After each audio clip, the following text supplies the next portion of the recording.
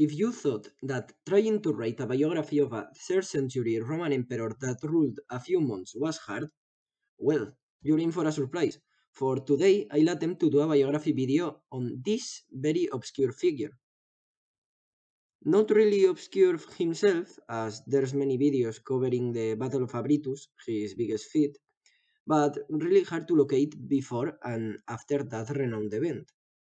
What we know about Cniva comes from Roman sources, aka his enemies, hence why all that we hear about him must be taken with a pinch of salt, for most of these reports can be and will be biased against his figure. According to Jordanes, the source used to mention Ostrogoza, Cniva was merely his successor, as this even more obscure figure, possibly mythical as a way for the 5th century Ostrogoths to justify their lineage, died around 249 or 250, just before the big conflict against Rome began. I will not dare to establish a direct paternal or even familiar relation between the two, as that's out of both Jordanes and my knowledge. But for Cniva to have ascended so hastily, and for him to immediately form a 70,000 strong army and invade Moesia, it must mean that he was a respected Gothic leader even before Ostrogoth's death, no matter if he's son or completely unrelated. There's no reference to Cniva taking part in Ostrogoth's campaign against Marcianopolis, while instead mentioning Argaitus and Gunteric, two figures that will fade into irrelevance once this whole ordeal is over. What can we learn from this?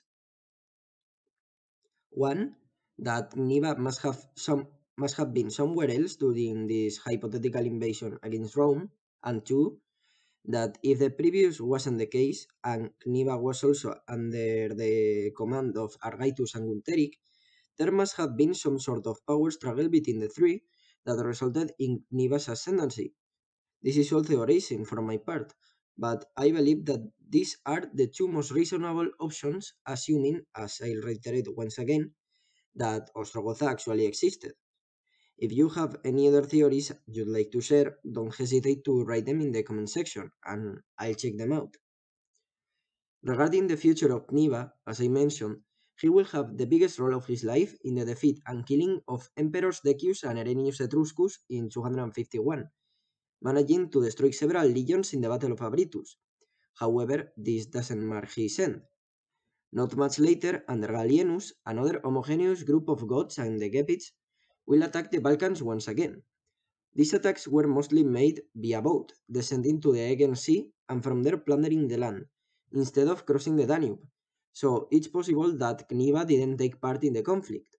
It must be noted that even though during the war that killed Decius the Goths were the leading party, in this one will be the Heruli who lead the charge, so it's quite probable that the leadership was distinct from the one ten years prior.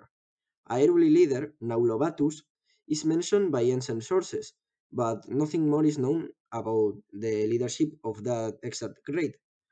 Finally, as an end to Cniva's life, or maybe not, as sources disagree, we find a certain Canobaudes alive in 271, only to be captured and executed by Emperor Aurelianus.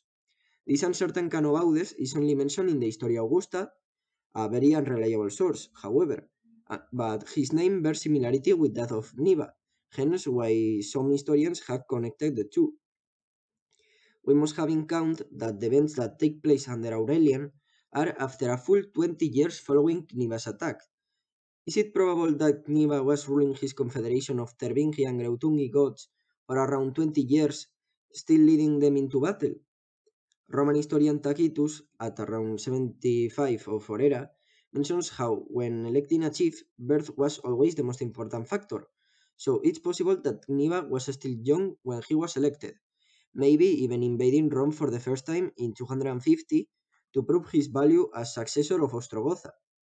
Whatever the case may be, he was now dead, and the Goths would continue to pillage Rome for many centuries, eventually leading to the first sack of Rome in more than a hundred years in 410 at the hands of Alaric the Visigoth. Thank you for watching.